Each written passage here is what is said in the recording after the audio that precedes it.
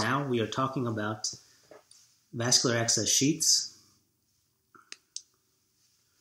Here is a 5 French vascular access sheath with a sidearm with a dilator in it. And I'm basically going to be talking about this device. It took me a long time to understand this device. Probably took me a year to really understand this device. And now I'm going to show you exactly what this device is about. All right? 5 French vascular access sheath. So to start, this is the sheath with the dilator attached. All right? this dilator comes out, and the first thing to know about this is that the dilator is only used to access the blood vessel. Right? This provides a nice smooth taper, so once you get into the blood vessel, you take the dilator out, and now you have a 5 French access into a blood vessel of choice, usually the right common femoral artery in the groin. All right? So a sheath is more or less just a uh, tube that goes into the blood vessel and gives you access to that blood vessel for use for diagnosis or treatment. Okay.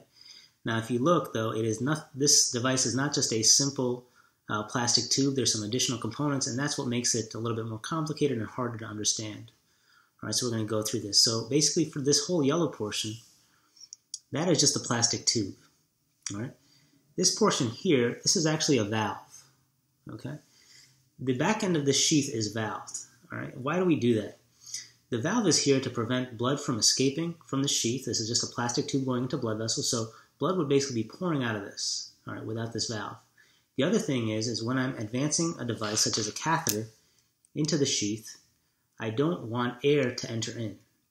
So this actually kind of forms a nice tight seal around the catheter and prevents air from entering uh, into the sheath along with the catheter. Okay, both important things. All right, so most devices, if you notice, now I'm just going to show another device here. This is a 5 French vascular access catheter, and you see the back end here. This back end is a Luer-Lock. All right, most of most devices, other than the sheaths have this Luer-Lock on it. So why does it have the Luer-Lock? It has a Luer-Lock so that we could inject contrast or flush uh, directly into the back end of the catheter. Okay, I could have contrast in this syringe right here. I would basically be infusing contrast into the catheter. Now you notice that the now you notice that the sheath doesn't have that. Okay, I don't have a Luer-Lock here. I can't attach this syringe into it. Okay, so that kind of gets into the point of the sheath. The point of the sheath is not to inject contrast through it, really. The point is to have that 5 French access into the blood vessel so I can advance catheters, wires, devices, maybe coils, maybe an angioplasty balloon. Okay, that's the, really the purpose of the sheath. All right, and that actually then brings me into the sidearm. Okay, you see there's this sidearm attached to the sheath.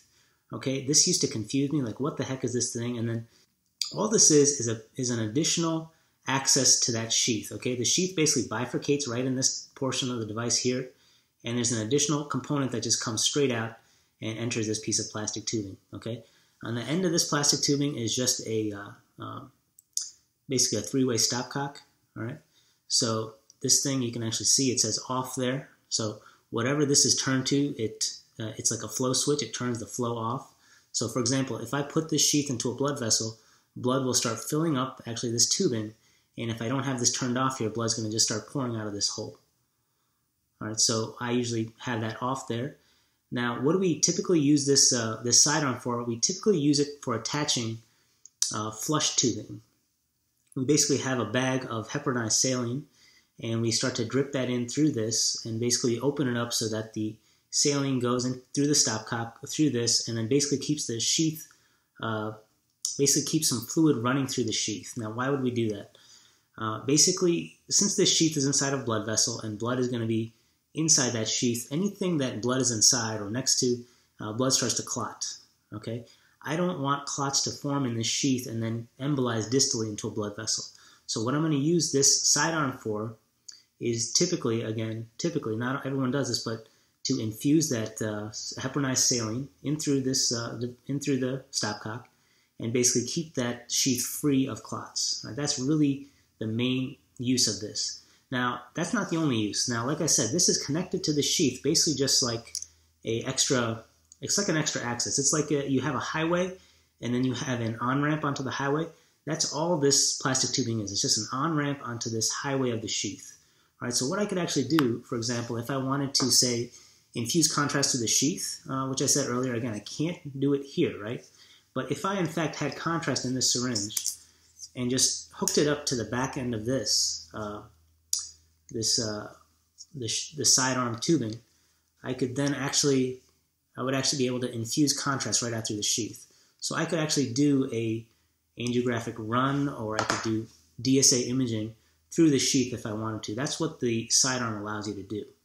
All right, so I'm going to go ahead and try to end this here, but basically, again, here is a 5 French vascular access sheath, okay? It's basically a plastic tube. The additions to that are basically this valve here, and then this sidearm here, which is typically used to attach uh, flush tubing to keep the uh, sheath free of clots. The other thing you can do with that sidearm is you can infuse contrast to do a run okay, among, among other things. Right? So that's it. That's five French vascular access sheath with a sidearm. I'm Sarel Gaur MD. Hope you enjoyed this video. Thank you for watching. Take care.